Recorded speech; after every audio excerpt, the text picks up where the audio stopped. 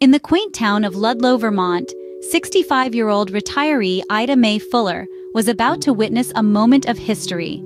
Upon opening her mailbox, she discovered something quite unexpected, a check from the U.S. government. But this was no ordinary check.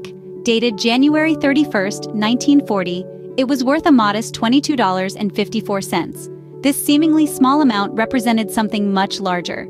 It was the very first payout from the Social Security check numbered 00000001, a progressive endeavor enacted five years prior, in the heart of the Great Depression.